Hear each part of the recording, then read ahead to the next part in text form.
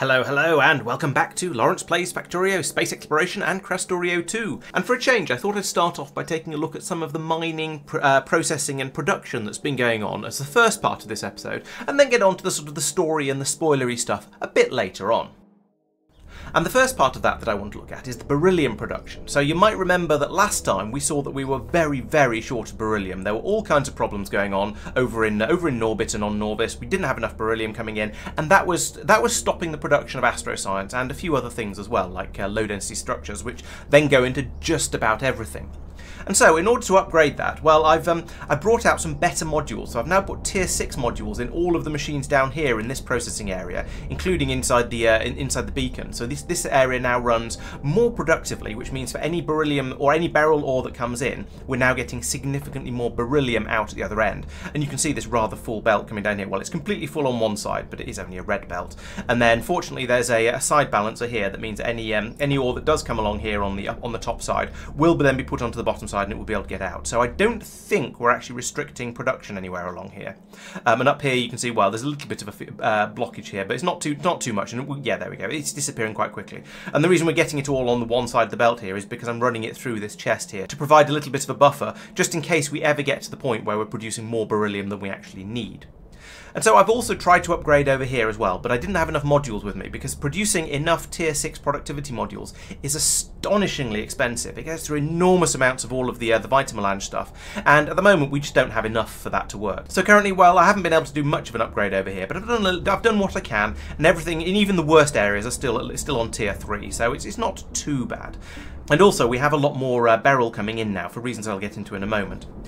I also took um, a, a, couple of spurs out of the warehouse over here and fed it up into these systems up here because when I started off, these were running significantly more productively. They had better productivity modules in them than the systems down here. That is no longer the case because they've been upgraded, which is why I've now let the belts run off to other places as well. But previously I was prioritising trying to keep these systems running even when there wasn't enough core fragments coming in. Because we're still very, very short of core fragments over here, mostly because of the upgrade I did. So we're now instead we're now running much, much faster. We've got two green belts coming in instead of I think we had one, maybe two blue belts coming in before. And so now we just can't. The, the, the mines can't keep up. Now there are quite a lot of other core seams around the planet that I could go out to, like out here and, and so on. So I could expand this out quite a bit further and get a lot more core mines. However, given that it's a bit slow at the moment and going out and setting these up is quite a long and drawn out process, especially when I'm just sort of flying out there there laying all the rail by bot, it takes quite a long time to do, and I don't think that makes particularly good stream content. So I've sort of I won't say I've abandoned that, but for the time being, I'm not planning to put in any more core mines, even though that would clearly be the right thing to do. I could possibly go over to the other method of expansion, which is where you just put out enormous numbers of roboports and run an entire string of roboports and rail all the way out to the uh, to the core mines you want to dig from, and that that does work. The only problem with that, and we've discussed this before, the problem with that is it's incredibly slow because you'll put in a little chunk down here of one range, then you'll have to wait for the bots to fly from over here with the uh, rail and the roboport for the next bit, which I'll put in here. Then once that's placed, you then have to wait for the bots to fly from over here all the way over here with the next chunk, and so on. So if you're not in a hurry, then sure, it, it, it works. It will eventually get your, your, your rail systems out to wherever you're trying to go to. But it's not it's not an, it's not ideal it's not a great way to expand your system out and uh, I'd rather so I'd ra I don't really like doing it that way if we had FARL installed, of course, then I'd be able to just fly across the landscape in a FARL train and uh, and deploy everything really, really quickly. But that's it's sort of slightly cheaty. It's also not something we've got installed in this playthrough, so we're not really planning to add that one in, even though it would make that a lot easier. So instead, well, I still need to have this system running nice and quickly, and we do have a warehouse full of beryl over here, so clearly something is working. And so there's a couple of things I've changed here. One is that I've extended these to 1212 trains, which I did last time with the uh, with the core miners as well. Uh, now I've done it with the normal mining tra trains as well, so they can they can now bring in twice as much per train, which means as a train pulls in, it then takes a bit longer to unload. You can see while it's unloading there, and now it's now it's departing. So the next train's then going to be able to pull in. There's a lot more available. So this means even with all of these belts emptying, the, the warehouse is still at only just under 500 stacks um, by the time the next train load comes in. And so this means each train brings in a lot more. Therefore, the unloading and the swapping around of trains is a much smaller amount of the time that's taken do doing everything with the trains. And so, yes, we've got a decent amount of flowing out here, and we can keep these, these belts all running constantly over here. As part of that, of course, and I touched on this last time, I've upgraded all of the mines, like this one up here, to have, um, well, the warehouse, and then enough loading belts to load up for all four wagons at once, uh, with, a, with a gap here for the other locomotive. So this will now, this is now capable of loading on those 1212 trains, and in order to allow this to, to fit in, I've also removed the second station that was in here, that was bringing in the filters, and I've not actually removed all the belts and filters and stuff around here. All of this could actually go at this point. Uh, I just haven't got rid of it yet. But the filter handling system is now gone. We don't need it anymore. We've plague rocketed the planet, so there's, essentially there's so much pollution on the planet that we can't do anything about it. But it has killed all the biters, so we don't have to worry about attacks. And these upgrades, well, they, they help with with bringing all of the ores in. Yes, that's that's that's certainly true. However, they, they didn't increase the amount of speed we're digging it up out of the ground at, so I still needed to go out and put in some more mines. So I did that, and I think I touched on this last week as well, because I said I was going to do it. So up here, I've put the, I've, I've made the, the uh, railway line go round this uh, nice convenient ore patch here, and I've slapped down a load of mining drills. And because this is a healthy, healthy patch, I think this was about 15 million, 16 million at the moment, in fact. Um, I put in a speed beacon in the middle of it, so it's making all of the uh, all of the all of the drills that you can see flashing at the moment. They're all running at four times their normal speed, and they're getting a plus 120% productivity boost because of the uh, the researches we've been doing. So that's even better, and that means the station over here fills up pretty quickly. So as soon as a train is ready to come out and grab some more uh, grab some more beryl ore, it can do so. Take grab it from here, take it away, and that's how I've managed to get lots and lots of them queued up. I did also put in another another uh, mine up here. This is along very much the same system. However, because it's bigger, I did put in two beacons, but then I ran out of speed modules, so I haven't managed to put any uh, modules in this beacon, which is a bit of a shame. But oh well, it's um, at least it's there, and when I come back with more infrastructure, I can set it up next time. And so again, we've got the drills running at four times speed up here. The ones on the edges are running at normal speed, but sure, actually less than normal speed. Um, that's all being pumped through into, into into the warehouse here, and it can then be picked up by the trains. Lovely. And with these two being up here a bit further away, they're probably not going to get used quite as much as some of the other ones. However, that said, we've already got another train pulling in here ready to fill up, and this is going to take probably seconds to fill up. You can see how you can see how quickly that's going. It's um, a quarter full already. But then the, the, other mines are probably running a bit slower. So this one down here, um, we've got we've got actually we've got 188 stacks in there, so that is enough to call out another train. Although we haven't actually triggered the station yet, we're, we're triggering on 12,000 rather than whatever is exactly the right amount to go into a train. Uh, so soon that'll get up to 12,000. We'll then call a train over to here. But these ones are, are a bit slower, as you can see, and they're running out. There's only three million left over here, so I don't think it's worth coming in and shoving in a speed beacon to make this one pull it up a bit quicker. And the same over here. This is this is doing slightly better. It's still got seven million left, uh, but it's and it's slightly it's got a slightly bigger area of beryl. But because we've pulled up all of the stuff around the edges edges, all of these drills have stopped running. That means that now we've got we've not got as much coming out per per minute, should we say? And so this one's nearly ready for another train to come out to it, but it's not quite there yet. So we'll give it a little bit longer, and then eventually a train will come out and grab the beryl from there.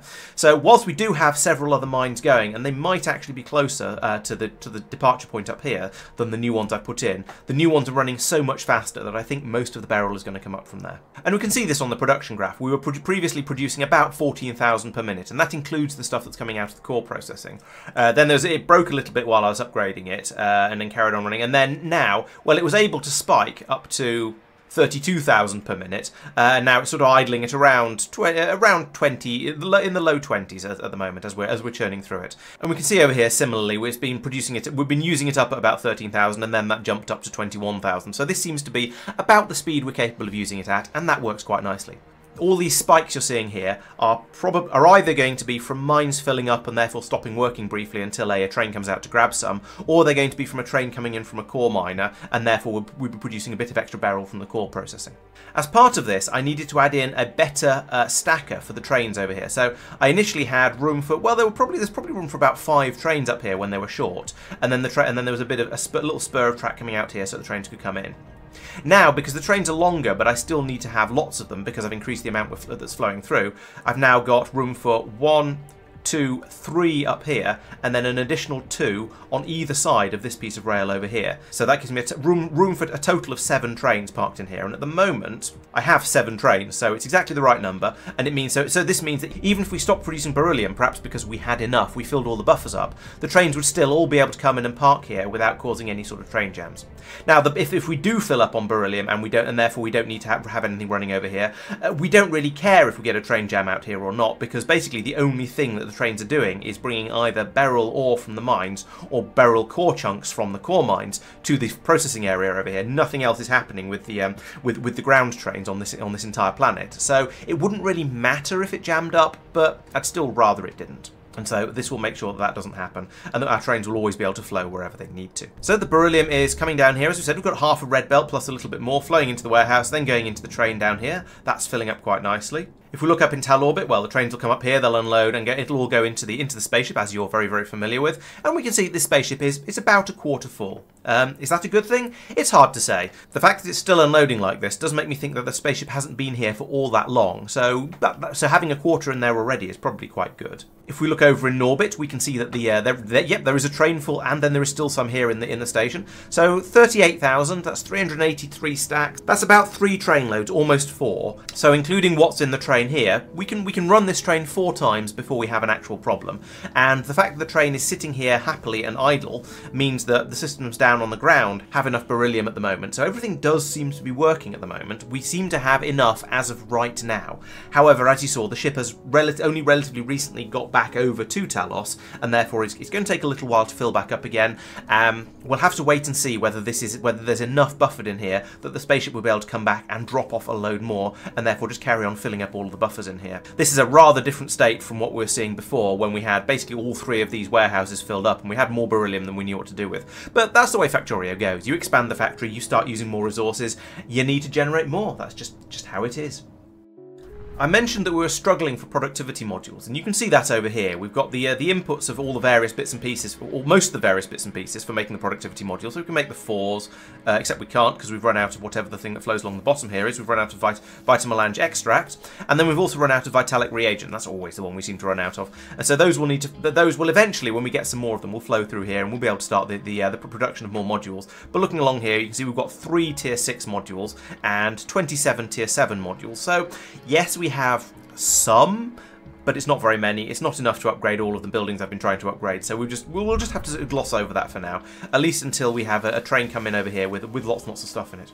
And we can see there is a train over here in the bio pickup at the moment that is currently filling up with um, with stuff. What have we got going in? Well, we've got lots of the extract flowing in.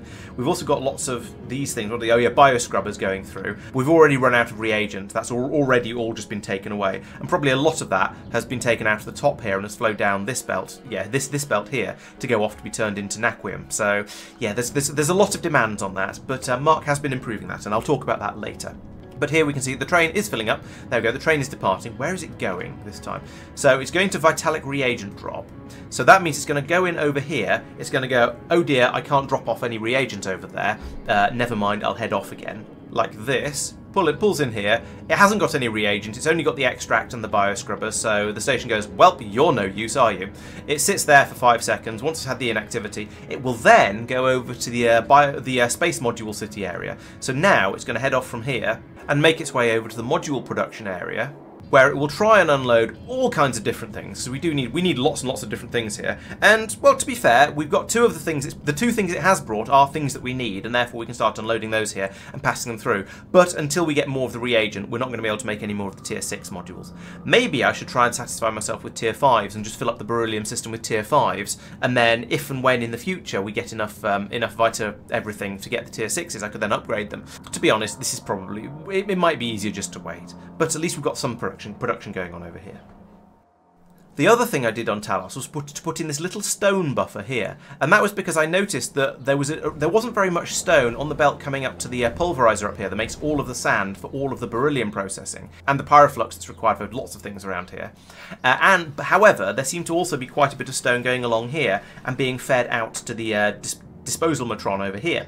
And so I thought, well, okay, let's put in a let's put in a little buffer over here, so we know we've always got at least uh, 2,400 stored in this box before we ship anything away. And as you can see, we're slowly dribbling it in on this belt, and that means we do we do actually have plenty. We are producing it faster than we're using it, and all of this is coming from the core fragment processing. And that's one of the reasons I wanted to have this as a buffer in here, because quite a lot of the time the core fragment processing isn't running because we've run out. And we're not digging it up fast enough. So every so often we'll have this burst of production over here. We'll have loads of, more, of vanilla core fragments and stone coming down here, which we can then turn, pass through this and get ready to and pass up here to be turned into sand.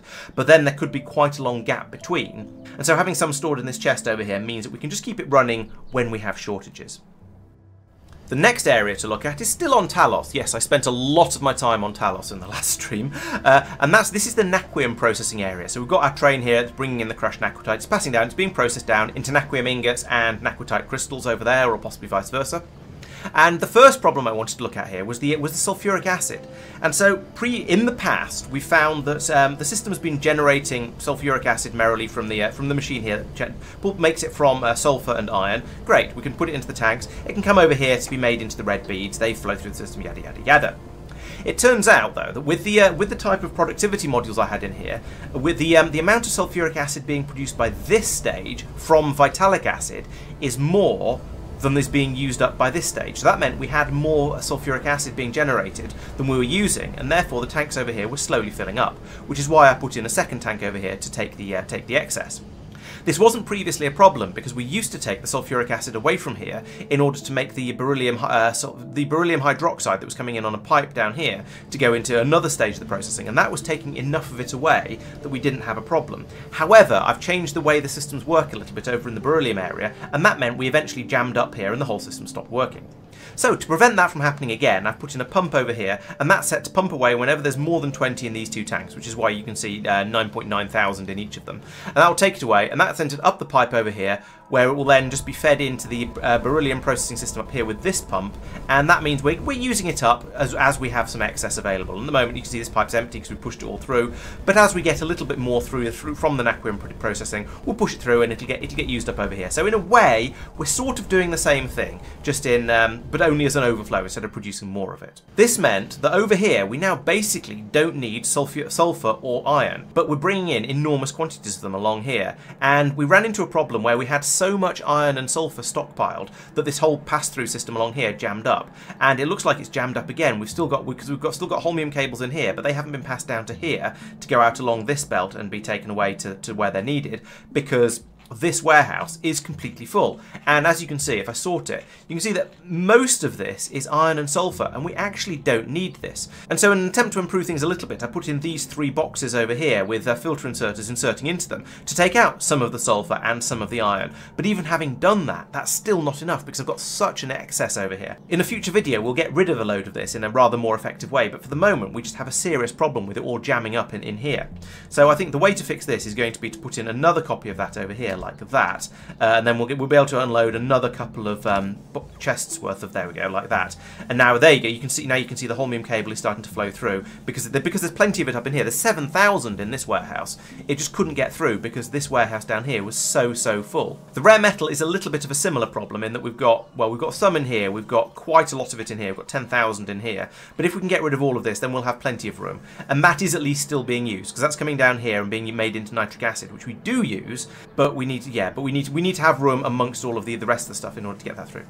I should also come in here and link these two chests into this warehouse here. And that means any iron or sulfur that gets put into these chests, and into these ones, because I've linked those in as well, is counted in the total amount that we see on this planet. And therefore, we won't, if we uh, try and order some more, or if another ship comes over, it won't bring over more sulfur or iron, just because it's been taken out of these warehouses and put into these chests. So, yeah, the system, the system is now is now working. You may note an empty belt here, which this this one is fine because the vitalic acid comes down here and well there's, there's some barrels of it left in fact but then that's brought down and put into this tank down here and we're watching how much vitalic acid is in this tank dividing it by the amount that goes into a barrel and then outputting that as barrels onto the network. So the amount of acid in here is counted against the number of barrels in the system so we're not just storing them in the, it in the warehouses up here. So that belt being empty is fine as long as this tank doesn't start to empty we also seem to have a bit of a shortage of Vitalic reagent, but that's okay because there's 17,000 in this warehouse, so we aren't actually in a crisis position yet. We're also a little bit short of methane ice, and that is potentially a little bit of a problem. Uh, we don't seem to have any coming along here. Uh, if we follow this belt along, then we will eventually get to this warehouse over here, and there's still none over here. Uh, we have, yes, we have a fairly severe uh, methane ice problem at the moment that we're going to need to do something about. Potentially by bringing more of it over from Stardust, but I'll talk about that in a, in a moment or two. In fact, it's such a big problem that the Naquium production has stopped. So yes, it has hit crisis levels now. We need to we need to find more uh, more methane ice in order to make more methane gas to allow this stage of the process to run.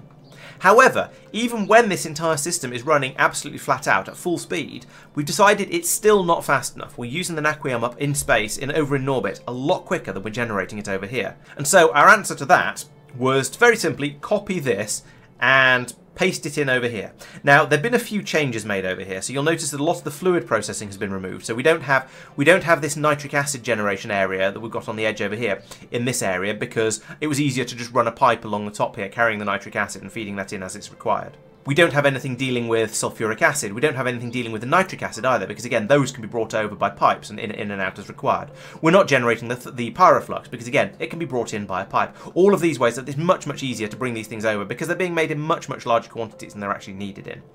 So over here, we basically just have the uh, the actual Naquium processing and the bits making the, uh, the, the various beads to go with it as well. So we've uh, we've managed to slim the system down quite a bit and uh, and um, just produce the the, uh, the actual important bits we need. There are a few problems with this. The first one is obviously that we've run out of methane ice and therefore methane gas and therefore it just can't run at all. So yes, that is a fairly severe problem. We also don't have the productivity modules we would like to put in here. Uh, these should all be tier 7s all the way through because Naquium is so valuable that we want to just make the absolute maximum we can out of the input we're bringing in.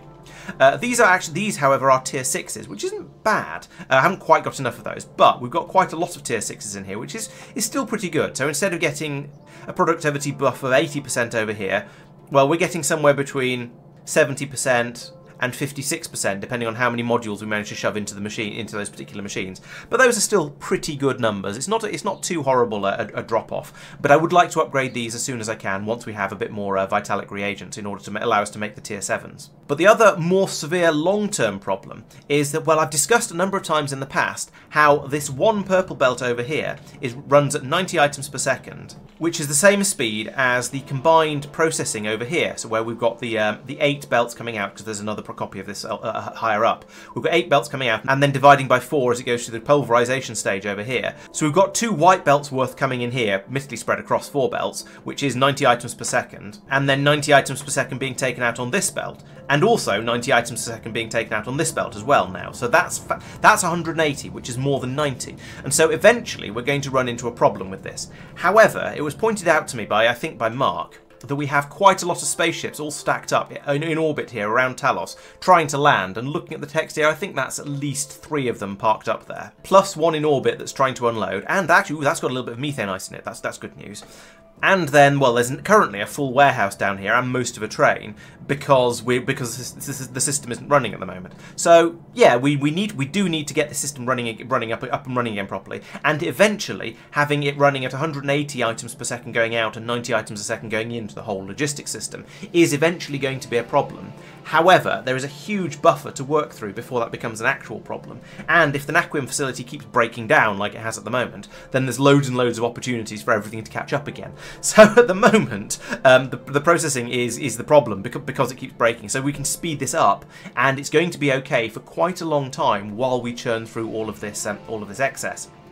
In the uh, in the longer term, we are going to need to bring more in, and my plan for that is to go out to another um, asteroid field somewhere out here and use an Arcolink uh, teleport chest to bring all of the stuff we need from wherever, whichever um, asteroid field we use back down and drop it off on the planet over here, and then I'll probably I'll probably have the Arcolink chest in, may maybe somewhere around here, uh, just because there's a convenient gap, and then I can have a massive rank of pulverizers down here or possibly up here, and that will provide all of the crushed naquitite that's needed for these machines over here, and probably another copy of it all over here, or perhaps underneath it, or just somewhere around here I can put in another copy, and maybe even another copy after that. We'll we'll have a think about the numbers, but yes, I can get a lot more flowing through once I go out and set up another mining area. But in the meantime, while that's happening, we can work through all of this buffer by having twice as much processing going on down here. And I think that'll allow us to hopefully keep the systems over on Norbit satisfied at least for a little while. Uh, hopefully doubling the amount of Naquium coming over is going to be enough for them. Of course, putting in all of this extra machinery, especially given how much of it is, is, is run by uh, speed beacons, including the beryllium processing and the beryllium mining, meant that we were using an enormous amount more power than we were before. If we look back over the last 10 hours, well, our production's, just trust me, our production's gone up. It was it was about 5, we were using about 5 gigawatts before, uh, and so I've upgraded it now to allow us to produce 8.3, and sometimes, particularly when the Naquium processing is actually running, you can see some spikes over here. This got up to uh, needing 6 gigawatts from there at one point, and now we're and at this point we're using 4.6 from that one and 3.2 from here, also, so 7.8, so nearly all of the available power. So we, yeah, we had a massive increase in the amount of power required, and so we started to struggle. This meant that we had brownouts down on the planet here. Everything started to run a bit more slowly. More seriously, the uh, the signals were signal receiver over here failed because they're the first things to go when you lose power. And because I hadn't set this up at the time, I hadn't set this up properly as a less than zero check. This meant that when the signal died, we started pouring through enormous amounts of naquium crystal into the warehouse here. And because of that, we have rather a lot more naquitite crystal over here than we than we than we than we want or really know what to do with. You can see over here that the um, this, well this warehouse up here is completely full. This is full. The train is full.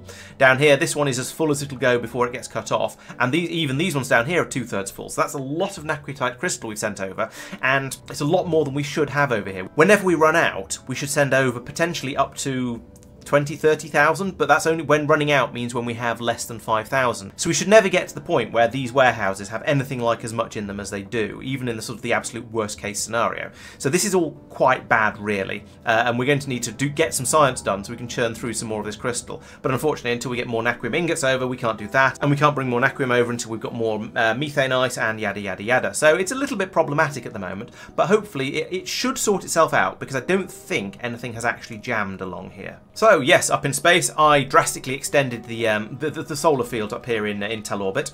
Uh, this was harder than you would expect because we have at the moment Marc is getting through absolutely phenomenal quantities of these red solar panels, and I'll show you why later. Um, but that mean that meant that it was really really hard to get all of these together. So I ended up uh, taking the emergency option, which was to steal all of the Naquium solar panels that we have. Now, this is probably not ideal because Naquium is expensive, as you've seen, and we don't have as much of it as we'd like to. However, I had a, a, bit of an emergency over here. I needed to get a lot more power in, and these do each each one of these will produce twice as much power as one of these will. So I put down a load more of those, and as you can see from the power graph, that meant suddenly we got this spike here and suddenly we have enough power. Now we do, as I say, currently this is a bit low because we're not actually running the Naquium production. We'll have a look at it again later and see how things are actually going in, the in uh, next week's videos probably. Over in Norbit, Marc has been getting through massive quantities of AI cores in order to make these uh, matter, uh, matter assemblers and also uh, matter um, stabilizers, basic matter stabilizers, singularity reactors, and dimensional anchors and and and and and. So you can you see we, we've suddenly had an enormous draw on the AI cores and we weren't making those remotely fast enough. So if we follow the belt back it'll come it comes all the way down down here. Uh, okay yeah we, we, we still have a shortage of them it turns out.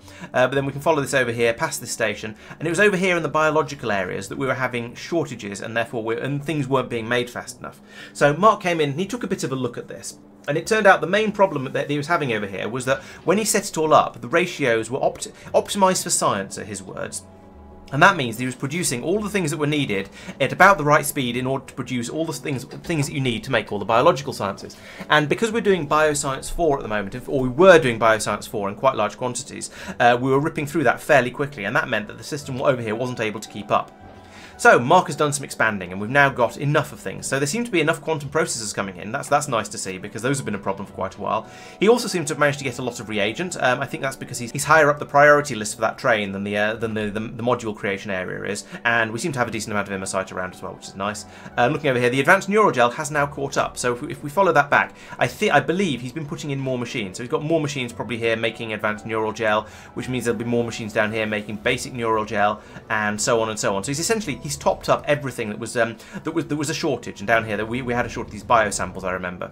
So he's he's done a load of expansion down here for all of these things, and that means that now we can have enough of the bio samples flowing through to keep the to keep the goop running, to keep the um, to keep the neural gel running, to keep it, to keep the advanced neural gel running. And so, yeah, you can see down here, these machines are working quite hard in order to fill these pipes up. Uh, and that's then all being brought up to here in order to be made into the AI cores. Now, we do seem to still have a slight shortage along here, and that is the um, the, the Riddler data that's coming through on this pipe, uh, this, this belt, from somewhere down here. Now, it is flowing through at a reasonable rate. We're seeing quite a bit of it on the belt, but it's not quite as quick as we would ideally like it to be. And over here, is it due to any shortages or it just it's just no, it's just processing speed. So over here we could perhaps put in a beacon or some upgraded modules, or we could just put in more machines out going out this way, uh, and make this whole system run a bit quicker, and then we get a bit more of those of these data cards coming through, and we'll be able to run, process, run the process a bit quicker. It also seems we're a little bit short of these ones as well, however that doesn't seem to have been actually a problem yet, because all these machines up here making the tier 3 catalogues, they seem to be pretty happy. And, and, I suspect any of these that aren't happy are probably unhappy because of the lack of the Riddler data rather than the lack of the... What am I going to describe this one as? I don't know, is that a United Nations logo? It might be. Uh, so yeah, there's there's lots of things coming through. There's lots of things that use up these data cards, and therefore we need to have lots of things uh, producing them. And so I suspect a good way to fix this would be just to take this this beacon here. We could put this in here, and then that would speed up all of these machines and this machine and the machines across the top making the uh, making the catalogs. So everything will now run quite a lot quicker. So something like this would, would make will make a big difference, and then hopefully we'll have enough Riddler data to make more enough AI cores to make everything that's going on. That said, I mean, if we look back over here, we can see that actually we do seem this this is further back than it was now. So maybe we just had a flurry of activity, a flurry of use, because I know Marc has been making a lot of the singularity reactors up here in order to uh, for, for the Stargate. We'll talk about that later as well. Uh, so maybe now that that's maybe now that we've finished making those, this this will get a chance to catch up. We'll wait and see, I guess. Down on the ground, Marc has drastically increased the rate we're making lithium chloride at. So that means we're bringing in a, uh, a belt of uh, a belt of stone over here, green belt, nice. It's coming here. It's all being pulverized down into sand to make the hydrogen chloride to then uh, make, uh, and then oh, you've got mineral water in here, I remember, and that makes uh, lithium chloride, uh, which we can also make lithium from, and lithium chloride. Both of these are being brought out because we need both of those in large quantities. But the lithium goes into a station to be taken away because that goes to quite a few places. The lithium chloride, is, on the other hand, is then just brought down here, added to the massive bus that goes down to the, uh, the, the, space trains area, and then passed into whichever space trains it, is that needs it at the moment. And this uses Mike's weird bring everything up in one train and then split it out system, so that'll be brought in here, dropped off, passed down the belts over here. We'll go into this warehouse over here, and it seems like we've caught up. So it is currently that that the weird system, despite being weird, apparently works well enough for the time being. Uh, we've now got so we've got uh, 78 stacks now, which means when this train goes and comes back, it won't be able to fill itself up again. But there'll probably be some more lithium chloride arrived by then. And the reason he did that is because this lithium chloride is needed over in the biological science area and it's dropped off into a station here where it gets passed through up here and is needed for making the genetic data here and also further up for making the uh, oh, more genetic data further up. So he needs quite he needs quite a bit for, make, for, making those because those are used for quite a lot of things. So he needs a nice healthy supply of that, and, and, the system we had before was insufficient. And I'm a little bit curious as to what's changed here because we have a system here that, that, that is running and is running very very nicely, but he's turned off this bottom system around here that was previously producing large quantities of lithium and, um, and, and presumably at least some lithium chloride.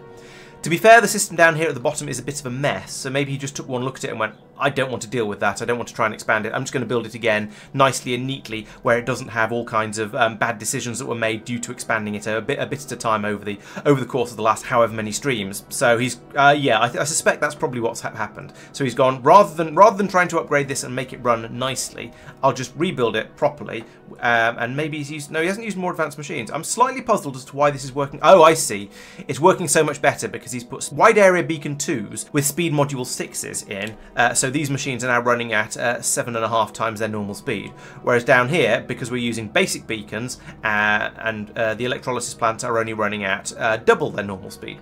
So, yeah, okay, that explains how he's managed to get away with such a smaller build and have more output than, than all of this mess down here. So this was, yes, this is just a bit outdated. Although that said, down here, I've got a wide area beacon 1 uh, with module speed module 3s in, and that's allowing these machines to run at uh, almost five times their normal speed. So this isn't too bad. Um, however, it, this this whole system was far more focused on producing the lithium than the lithium chloride. So also maybe it was maybe it was too difficult to get the lithium chloride out from places like this, where it's the end of a belt. Um, so it just seemed it just probably just seemed a lot easier to build a new system like this, and I can't argue with that. This makes a lot of sense. It seems it looks like it's working very nicely. So you know, if it's broke because it hasn't been um, up to, because it's made out with old technology and has turned into a bit of a spaghetti nonsense, uh, then you might as well fix it by building out a neater version of it. Over on Big Red, well, I've been uh, grouching a little bit about the, uh, the shortage of Vitalic reagents, and so Marc has been hard at work with that as well. So previously we had this system here, which takes in uh, core chunks down here, uh, pulverizes them down, gets the vitamelange out, then and then it goes through the processing stages up here until it comes out as the vitamelange spice. That's then fed up into here, where it's then processed on into vitamelange extract, that then goes off to be made into all of the other vita, more advanced Vita products. Great. So that, I mean, that's working quite nicely. I think Marc has got every single um, core seam on the planet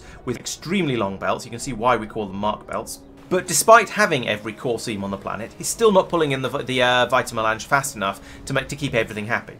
So he then came in and he put in this system here, which is the same sort of thing, except it's missing the uh, core pulverization stage because it's running from uh, mines. So we're bringing in Vitamelange ore from mines on these belts. It goes into a warehouse here provide some buffer into the machines over here, and these are processing it in exactly the same way. So we've got the uh, the Vita Spice coming out at the top. Great. There's still not enough. So he's put in another set of all of that, and that's everything, including the including the making the bio, whatever this stuff, the biomatter uh, that can be then passed through here, and it is used in I don't know which stage, but it is used in there somewhere. So he's got more, more, more um, Vitamelange mines set up like this one that are feeding into now into another storage container, and then into all of the uh, processing facilities here. So we've now got an extra maybe 50% because we've now got three processing facilities, as long as the core mining can keep up, and I think it can because these belts do look fairly full. So we've now got 50% more than we had coming out before. That's all flowing up into here, as we say, and then along here we can see these various belts running at different speeds. We've got the um, uh, we've got two purple belts going in here, and I believe this is making the, vit the Vitalic reagent. Yes, there we go. And you can see there is nearly half a blue belt of that coming out. Call it a third of a blue belt. That's that's a decent amount. That's that's that's doing well. Um, and then over here we've still got another blue belt coming over here, bringing the Vitamelange extract over to be made into acid and into um, bioscrubbers because we do still need those in fairly significant quantities. As you can tell by this tank over here being essentially empty. Uh, and that's well, that's because a lot of it's being pumped off this way to be put into barrels.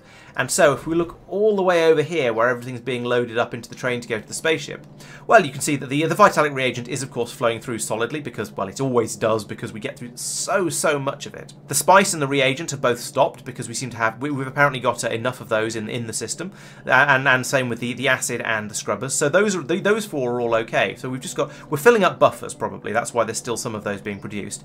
Uh, but we've now we're now mostly just feeding through the the uh, the the reagent and also the epoxy. We do need quite a lot of epoxy as well. So those those two are flowing through into here and then going into the train to be taken up. The only thing is though, as, as you've seen before, the amount of actual stuff you get through, the amount of stuff you actually want is relatively small compared to the amount of miscellaneous all the other all the other types of junk that come through. Still, we will at least be able to use this methane ice somewhere. I think I know where, where, where, we can put that. Up in space, it looks like a spaceship has just arrived because we are currently actively unloading the uh, all of the, um, things like the, the rare metals and the and the vulcanite and, and so on, all of this stuff that's been brought over. And that's just finished. So now we can start loading up from these warehouses into the into the ship. And these warehouses, well, the, the warehouse was probably about half full when they started loading. We can see we've already got almost 100 stacks per um, per warehouse over here, and there's nearly, and so there's going to be actually we're going to be nearly nearly two thirds full by the time this has just passed over what's in these warehouses. So that's doing really well. We've got we've produced a lot of stuff while the ship was just flying back and forth. And so we now we, it shouldn't take too long to fill the rest of it up. However, once again, that is because compared the amount of um, the amount of actual stuff we want that comes through compared to the amount of um, miscellaneous junk that comes through is not as high as I would like it to be, should we say. So you can see there's an enormous amount of wood in this in this uh, warehouse already. And okay, granted, there is still quite a lot of this stuff to pass through. It's not as bad as I, it might not. It's not really as bad as I'm making out. We are we are bringing over a lot of reagent, a lot of extract whenever we do fly the ship across. But there is a lot of byproducts with this with this uh, system as well. But never mind. As long as the ship keeps flying, the train keeps running, everything keeps going, I think we're probably going to be okay. We'll just have to keep a bit of an eye on it and maybe, well, hopefully we won't need to expand it again because it's getting a little silly. Um, hopefully this will actually be enough, but we I guess we shall have to wait and see. And right, I think this is a good place to end the end the, uh, the video. I've been recording for almost 50 minutes. Uh, the granted, I'll, I'll, cut a fair amount of that out because there's a bit, bit, of time thinking about what I was going to say next, and, and, you know watching trains bumbling around and that sort of thing. Uh, so this will be the end of this video. I will be making some more about what we got up to last week. Uh, don't worry about that. Uh, never fear, there's always more to say. So there's plenty plenty more to talk about. Some of it spoilery, some of it not. So I hope you'll be coming back for the the rest of the videos.